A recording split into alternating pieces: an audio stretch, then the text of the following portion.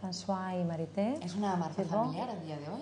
Sí, bueno, esto no, no, no te lo puedo decir con, con seguridad, pero los diseñadores son Marité y François, son un matrimonio. ¿Y de aquí sale el nombre de la De aquí marca? sale el nombre en el año 64, en 1964 empiezan a, a diseñar. ¿Y cuándo nos llega a España esta marca? Nos llega a través de, de la empresa Twenty, Sí. que hace 30 años tenía la licencia para fabricación y comercialización de la marca Closet. Yo no sé si tú te acuerdas, sí, sí, porque creo que Closet hemos llevado todos. ¿Todos?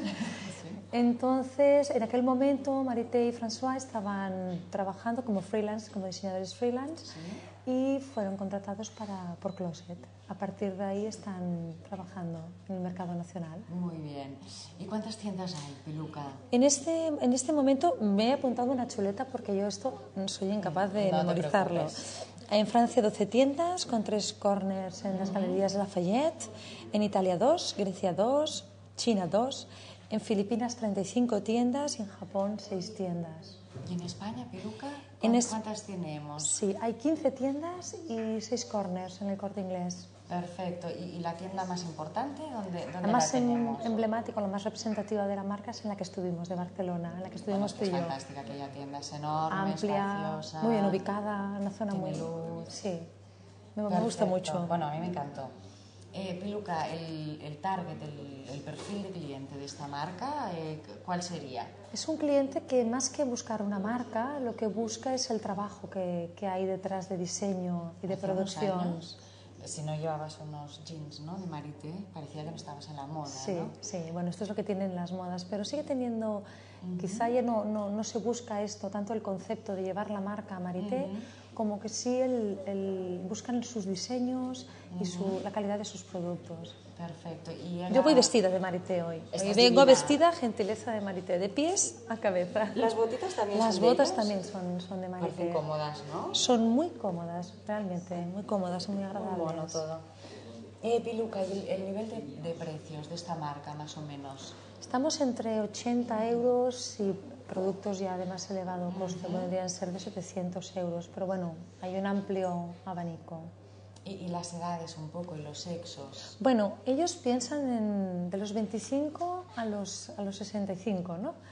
Bueno, depende, depende un poco el ¿Hombres perfil de persona. Hombres y mujeres, pero hay un 60% de, de mujeres. Quizá el público es más femenino hoy Más por hoy femenino. de la marca, sí. Perfecto. Y el look siempre es como ahora, ¿no? Es un look, sí, con estructuras, con tejidos naturales, eh, trabajadas, eh, trabajando muy bien los, los patronajes, prendas cómodas y estilosas, con un punto de modernidad. Y volumétricas un poco, ¿no? También, porque... eh, Sí, yo hay piezas con volumen. Sí, sí, como hicimos bastantes pruebas, hay, hay, hay piezas que tienen Elegantes, con curiosos. mucho juego, exacto. pero- Sí, con volúmenes. Trabajan los volúmenes. ¿Y, y cuál es la filosofía de, de los diseños de esta marca Piluca? Bueno, ellos eh, lo que buscan es son- lo que están, lo que, lo que cuidan es el, también como Tony Francesc, ¿no? Eh, ser ecológico, el estar en contacto con la naturaleza. Son tejidos naturales, Muy nobles. muy nobles. eh, buscan el ahorro de, de agua, por por ejemplo, tienen el lavado láser, que esto ahorra una cantidad de agua increíble, porque ahora casi la mayoría de tejidos se lavan, ¿no? ¿Qué Ellos lo hacen con láser. Bueno, pues que hacen el mismo efecto en el tejido, pero en lugar de utilizar agua para realizar el proceso, lo hacen con láser. Perfecto. Muy bien. ¿Ves? Ya sabemos más cositas. Nunca te acostarás sin saber algo más. Piluca, y- yo quiero que nos des unos cuantos consejos Bueno, aquí para, para nuestra audiencia. que- Vale, voy a ser breve porque hoy eh, nos Yo hemos dilatado un poco en el, en el- en el tiempo. Había Perfecto. preparado quizá un poco más de contenido, pero lo voy a sintetizar.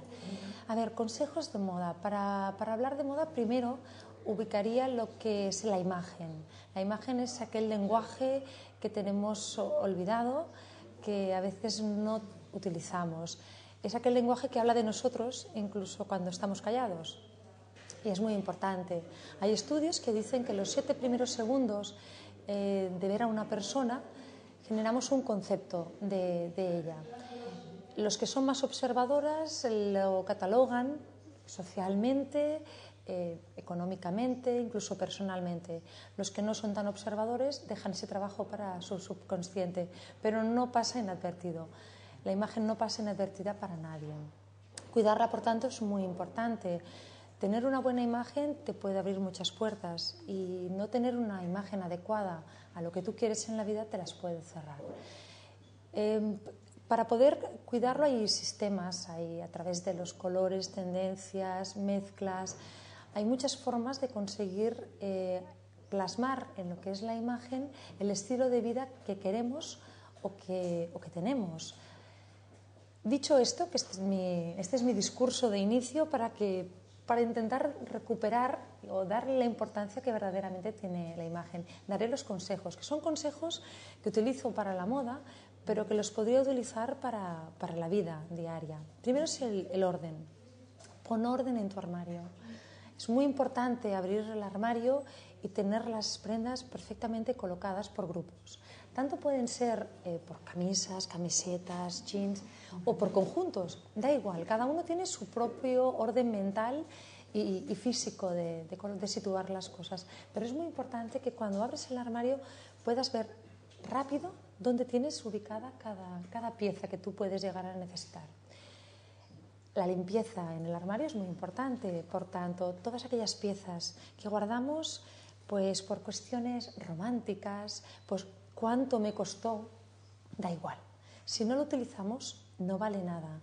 Nos está ensuciando, nos está ocupando un espacio que no nos deja ver lo que realmente nos interesa ver, que son las piezas que tenemos que utilizar para cuidar nuestra imagen. Hay determinadas prendas que situaría aparte, como, como son el calzado. El calzado yo lo situaría en un zapatero, a ser posible. Y si no, al menos en un espacio distinto a lo que son el resto de prendas. Y otras prendas que también situaría aparte son todas las prendas de abrigo, ya que están en contacto con el, directamente con el exterior, uh -huh. no se lavan diariamente y no creo que sea bueno ponerlas en contacto con las prendas que llevamos más cerca de, de nosotros. Consejo, pon orden en tu armario. Elimina todas las energías estancadas que no nos sirven para nada y no nos dejan ver lo que necesitamos. El segundo consejo eh, sería compra bien. Comprar, comprar las, las, prendas no es comprar en vano. No por comprar más cosas vamos a obtener la, la imagen que realmente queremos. Se trata de comprar justo lo que realmente necesitas, lo que se adecua a tu estilo de vida y a tu forma de ser. Es muy importante, después de haber hecho la limpieza del armario, ver cuáles son las prendas que realmente nos hacen falta. Hacer una lista de estas, de estas prendas. ¿Qué necesito? ¿no? Exacto. ¿Qué es lo que realmente necesito para mi día a día o para un evento concreto? Hacer una lista de estas prendas y después meditar un momento en, en qué lugar eh, puedo localizarlas. Hacer incluso un itinerario, esto ya sería el, el top, ¿no? Decir, bueno, vamos a ver, necesito unas camisas, unos pantalones, unos zapatos, ¿Qué tiendas puedo yo localizar? ¿Puedo encontrar estas prendas en tal sitio, en tal sitio y organizar una ruta? Eh, consejo, compra bien. Compra solo lo que necesitas para tu día a día. Comprar bien y poco. y el último consejo sería eh, buscar tu, tu, verdadera imagen, eh, intentar ser tú mismo cualquier copia de, de, lo que, de lo que puedan llevar los demás, por muy atractivo que nos parezca, no es bueno. Por muy bien que les quite a los demás, quizá no es lo más ideal para nosotros. Ser auténtico es la parte más hermosa de, de una persona. Ser uno mismo es lo que más va a atraer a los demás. A veces nos cuesta descubrirnos y saber llegar a quienes somos. La imagen debería de, plasmarlo. Evitar seguir las tendencias porque sí, sin ton ni son. Las tendencias no nos tenemos que adaptar a ellos, Ella, tenemos que adaptar las tendencias a nosotros, nuestra personalidad y nuestro estilo de, vida. Las modas exactamente lo mismo. Por mucho que se lleve, que haya una moda fantástica, es que se llevan los pantalones. Si tu cuerpo no es afín a esta pieza, busquemos otra que seguro que habrá uh -huh. en el mercado que se adapta más a ti o a tu día a día, que expresa mejor aquello que tú quieres aquel mensaje que tú quieres emitir, que crees que tus interlocutores vean de ti. No tenemos tiempo, por lo tanto no me voy a extender en lo que yo había pensado en mi mente, me lo salto, hago un pasapalabra y os leo una frase que había preparado para, uh -huh. para el final. Es, Onassis dijo, para lograr el éxito mantenga un aspecto bronceado, viva en un edificio elegante, aunque sea en el sótano, déjese ver en los restaurantes de moda, aunque solo se tome una copa, y si pide prestado, pida mucho. A Onassis le funcionó. Mm, ¿Por qué no nos puede funcionar a nosotros? Decidamos cuál es el estilo de vida que queremos vivir, de qué manera lo podemos reflejar a través también, ¿por qué no?, de nuestra imagen y vivamos la vida que queremos vivir. Perfecto. Para mí serían los consejos de hoy. Muchas gracias, tomamos nota de todos tus consejos. Espero yo te que de ayuda. yo te sigo. Y te, bueno, nos irás aportando más consejos. Tantas veces como me invitéis, aquí me tendréis. Ana, encantada. Muchísimas gracias. Gracias, Piluca, a ti. Bueno, hasta aquí el Hoy Moda de hoy. Estamos en el Aire TV y nada, en unos segundos estarán con Hoy Negocios. Fantástico.